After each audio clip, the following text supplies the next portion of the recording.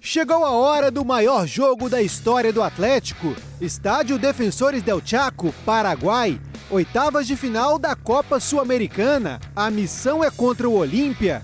O Dragão já derrubou times de tradição até aqui, LDU e Defensa e Justiça na primeira fase. E a sequência satisfatória na Série A leva confiança para o ambiente. O técnico Jorginho coloca a moral rubro-negra lá em cima. O nível de comprometimento desse grupo aqui é muito grande e a gente está preparado para qualquer situação. Vamos enfrentar uma equipe muito tradicional do futebol sul-americano, que a gente sabe que tem feito, inclusive veio da Libertadores, né? não classificou na Libertadores, mas por pouco, por causa de um gol, não classificou. A preparação da semana foi focada na recuperação física dos jogadores, atenção total no sistema defensivo.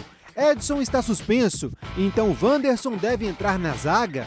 No meio-campo, Baralhas está de volta e no ataque, Wellington Rato retorna à ponta esquerda. Eles vão jogar todas as fichas aqui, né? Uma equipe extremamente intensa, uma equipe que joga muitas bolas aéreas em profundidade. A gente sabe o quanto vai ser difícil aqui. Eles, eles literalmente eles marcam muito forte, marcação linha alta no mano a mano. A gente sabe que vai enfrentar realmente muita dificuldade, mas é isso. É, como eu falei, a gente tem é, enfrentado grandes equipes do futebol brasileiro.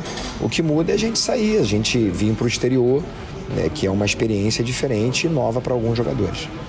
Esse Olímpia vem de cinco jogos de invencibilidade, não tem desfalques e os titulares foram poupados no fim de semana.